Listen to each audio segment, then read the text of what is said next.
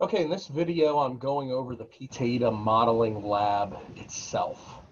Um, so here's the general process. View this brief video. This video is only for the directions for what you'll be doing in this lab. I've made a mini lecture going over increment that explains growth, specifically focused on mean annual increment. Review that. You'll need to know that information. Then view the PTAEDA lab where I show you how to use the software itself and I use some examples from this lab. Finally, read the lab handout that's going to be attached to an email to you and available on the course website. Read that in detail. It works you through all this step by step and includes screenshots. Only once you've done all that should you start working on this lab. This lab contains a lot of parts and you'll be working with a partner. So if you start before you fully understand everything you're going to be doing, you are going to either one, make mistakes that are easily avoidable, or two, you're very likely to leave out some of the things I'm asking for, and you won't earn as good a grade as you should have on this lab. So work through this process, review everything, only then should you start working on this lab. Okay, so with this lab, you'll be working with one partner. Uh, not two people, not three people. You each only work with one other person we have an even number in the class, so this should work. If you can't find a partner, just email me and I'll get emails from everyone else who can't find a partner and I'll pair you up so you all can work together. Be, it's very important you follow all social distancing guidelines and COVID requirements in the computer labs around the building. Uh, no getting within six feet of each other, and then make sure there's only you know the certain number of computers being used in a room at each time. Our class doesn't have priority on this. We don't have the computer lab scheduled for any given time. Um, I have spoken with Dr. Kidd, and you all are going to be allowed to use the plans lab if the plan students aren't using it. So uh, make sure that you find a computer lab at a time when you're allowed to be in there, where you're not interfering with a class that's currently being taught. Um, and do not wait till the last minute. There are 52 of you in class this semester. If you wait till the last minute, we don't have 52 computers you guys can all use at the last minute here. And this software is not on any other computers. You all need to start spacing yourself out throughout the week. Do not wait until the last minute. Coming and emailing me five minutes before it's doing and saying there's not a computer I can use right now is not going to count as an excuse. You've been given plenty of notice on this. You had time to work on it. Um, the other thing to keep in mind, part of your grade is going to be you all competing in pairs with one another. Uh, so your pair is competing against every other pair submitting the assignment. That will only count for part of your grade, not your whole grade. Uh, but if you end up growing your stands better than other teams, you'll score better than them. Okay, so here's what you're actually submitting. You're going to submit a Word document. In that Word document, it will contain four stand and stock tables. Those stand and stock tables, look in the PTAEDA video. I've shown you how to format them, how to get them in Excel, how to copy them into Word, all that. Those four are the HGT stand we visited for lab last week, right now at age 12. Then you're going to run a bunch of different modeling scenarios in PTAEDA for that HGT stand, and you're going to come up with your best rotation. And you're going to submit one stand and stock table. I've shown you in the video towards the end of it how to include different rows for thinning, so be sure you include those rows. And I'm trying to simplify each of these scenarios for you so that you can do them in a reasonable amount of time. So your only options on the HGT plantation, you're allowed to not thin it. You can thin it one time with a row thin first, or you can thin it twice, where it's a row thin first and a low thin second. Okay? I show you in the PTAEDA video how to do this. No applying fertilizer mid-rotation, no pruning. And I'm eliminating those treatments so you have fewer options so it's easier for you to work through.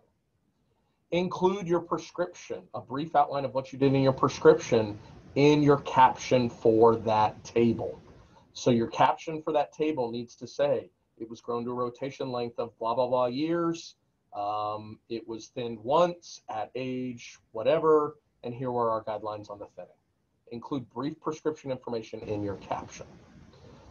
Your final two stand and stock tables are listed in the handout I emailed you, and that's hypothetical stand A, hypothetical stand B. And on those stands, you are not permitted to thin them.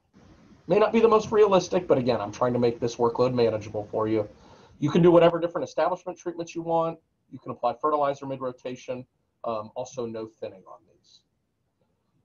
For all four of these scenarios, I want to see you include the mean annual increment with correct units in the table caption. So you have to correctly format each table. We know how to format tables with the right number of lines, with the right caption in the right place. Make sure you include mean annual increment in each table caption there. But other than that, you know, just make sure your name and your partner's name is on the Word document, email it to me. Um, and as long as it has the four tables in there, you're good. Do your best not to split these table across pages. So, um, so those are the guidelines on the assignment.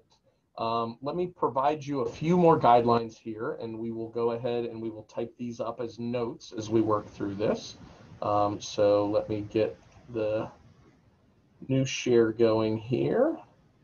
Okay, well, let me type it up on PowerPoint here. It's not giving me an option uh, for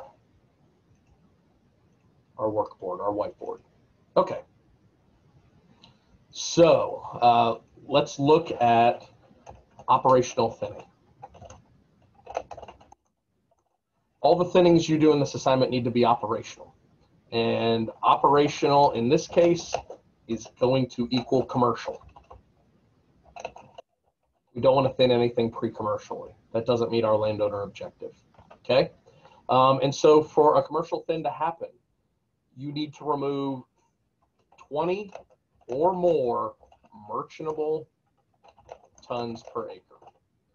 Typically, we manage our stands within a basal area range of maybe 60 to 135 feet squared per acre.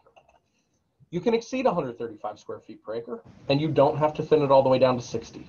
That's just a typical management range, okay? Just be aware that the higher you go above 135 square feet per acre, the more likely you are to run into southern pine beetle or other potential disturbances, the more mortality you may be accumulating.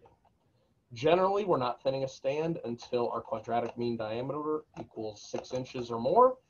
Um, that's going to be hard to see on these stand and stock tables that it outputs, but if you have that merchantable volume, you should be at that QMD of six inches. And then generally, we need height to equal 40 feet or more. Now, you're going to get heights lifted, listed by different diameter class here in the PTA output. Don't worry about that too much, okay? Uh, if some of your heights are less than 40, but some are 40, some are more than 40, it's fine. If you can get this merchantable tonnage out of your stand, it is going to be operational.